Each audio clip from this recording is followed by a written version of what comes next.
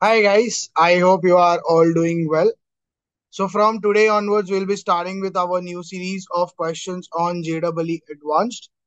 And today's question that we are taking for this is from the year 2023.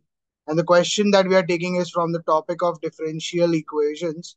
So if I talk about the question which is given to us here from this topic, the question tells that there is a differentiable function f which goes from the limits from 1 till the values of f of x less than infinity. So till the values of x from 1 till less than infinity. And the further function says that this is a differentiable function with a condition which is given to us that says f of 1 is equals to 1 over 3 and 3 times integral of 1 to x f of t dt is equal to x into f of x minus x cubed divided by 3, where x belongs to 1 till the values of x less than infinity. Further, the question tells us E denotes the base of natural logarithm and the question is asking me to figure out the value of f of t. And if I talk about the answer choices that we have been given here, the options are e square plus 4 divided by 3. The second answer choice I have here is log of 4 to the base e plus e divided by 3. The third answer choice we have is 4 e square over 3. The last answer choice I have here is e square minus 4 divided by 3. So we need to figure out which one of the answer choices is the correct answer for the question that is asked to us here. So let's try to solve the question further and find out the correct answer for the question. Before starting off with the solution for this question, I would first like to tell you that please do subscribe to my channel and support the channel as well because it takes lots of efforts in making these videos for you on everyday basis. And it is free for you but also motivates me to put up better content and try to make the solutions as easy as possible so you understand them in a better way. Let's see how to solve the question further then so if i talk about the steps to solve this question first thing i understand here is that i need to understand how to integrate this function which is given to us which is integration of 1 to x f of t dt so first, let's understand how to integrate this function. Then whatever we get the answer, we'll put that in the expression given to us. So first of all, if I talk about the formula, how to integrate this, it says, if you have g of t to h of t as the limits, and the function is given, which you have to integrate, which is f of x dx, it is given to us as take the derivative of the upper limit into function of that upper limit minus take the derivative of the lower limit into the function of the lower limit, which is present. So you apply this idea to get the integral of this function. So let's see. I have 1 to x f of t dt. That basically gives me derivating or differentiating the upper limit. So differentiation of x, which is 1, into function of h of t, that is upper limit. So f of x minus the derivative of the lower limit, which is 0, into the function of the lower limit, which is f of 1. So from here, if I solve this, I get this is f of x. And 0 into anything is always 0, so you just get f of x. So for this, I get the answer, it is f of x. Now once I have this, I have my expression with me. So in this expression, I can put instead of this as f of x. So if I have this as f of x, this only happens when you take differentiation of this integral that is present, right? So if I have to find the derivative of an integral function, then I get this answer. So basically it is nothing but derivative of this integral function that I'm taking.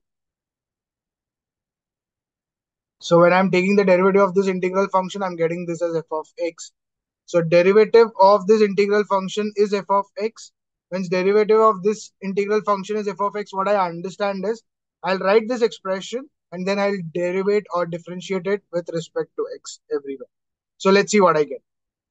So I had the expression which said 3 times integral from 1 to x f of t dt is equal to it was given to us that said x f of x minus x cube divided by 3 so if i differentiate this entire function with respect to x what i get here is for the first one we understood it says 3 and derivative of this integral is f of x which is equal to x into if I apply product rule here to find the differentiation gives me f dash of x plus f of x into derivative of x which is 1 minus the derivative of this basically becomes 3x squared divided by 3. So if I further solve it I get x f dash of x plus f of x minus this cancels and you get x squared. Further if I try to solve it this f of x goes on the other side becomes minus f of x so you get 3 times f of x minus f of x is equal to x f dash of x minus x square. So you have this entire thing here. Now once I have this, I get this is 2 times of f of x equals x f dash of x minus x square. Now once I have this, I'll take 2 f of x here and x square on the other side. And let's see what I get here.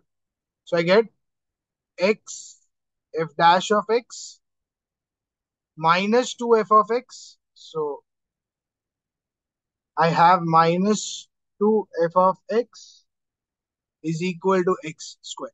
Now once I have this, I understand it is of the form dy over dx plus py equals to q.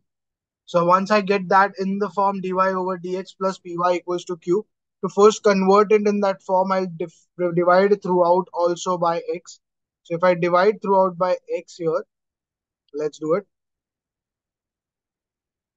I get this turning out to become f dash of x minus 2 over x f of x is equals to x.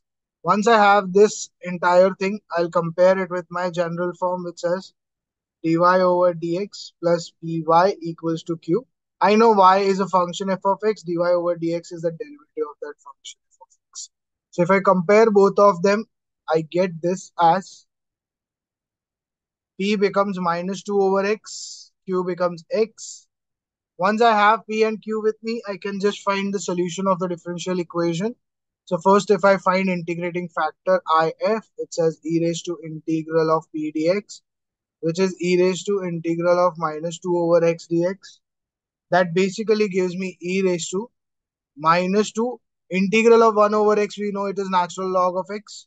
That gives me e raised to natural log of x raised to minus 2 and we know e raised to natural log of f of x is nothing but f of x. So from there i get x raised to minus 2 so i can write this is 1 over x square. So i have my integrating factor which is 1 over x square.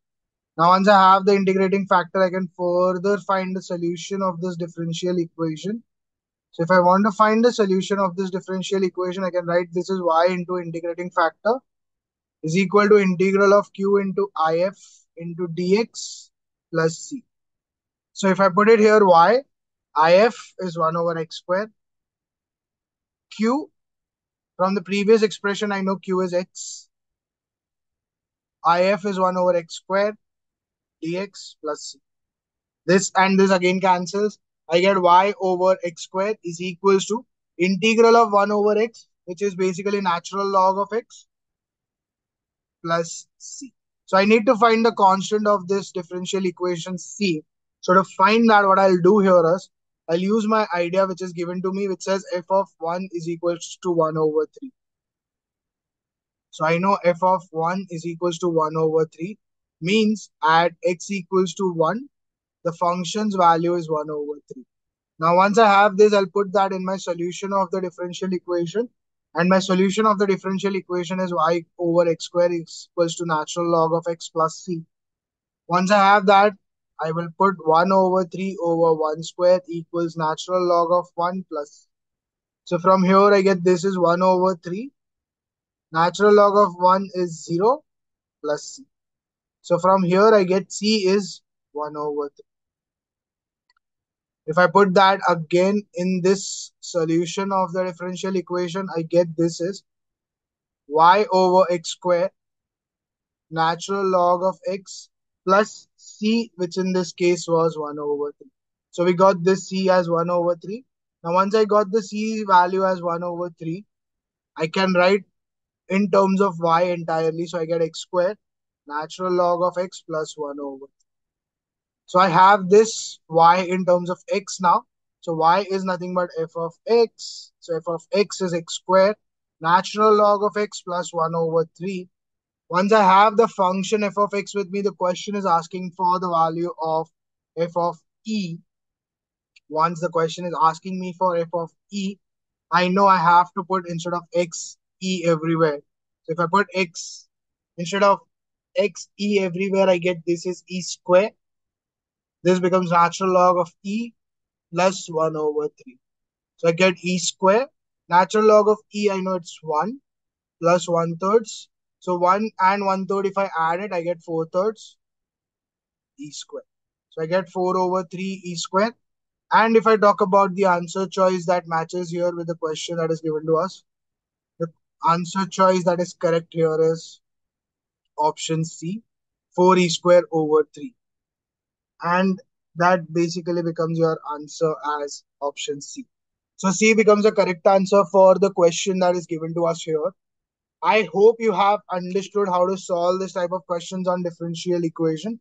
It was a pretty simple question. The only extension that they had in this question was how to find the derivative of a function which is already integrated. So we understood that, how to find it. And then further, you can easily solve the question and get the answer for the question and the answer matches with options. I'll see you again tomorrow with some other question from some other topic and we are going to continue our series of questions on JEE Advanced now. Till the time you give your advanced papers. I'll see you again tomorrow. Also, if you're enjoying these videos that we are doing on everyday basis, please do like the videos as well and do subscribe to my channel and share this channel with your friends also who are involved in the preparation of questions on JEE so they can also take the benefit from these questions that we are solving on everyday basis. Thank you.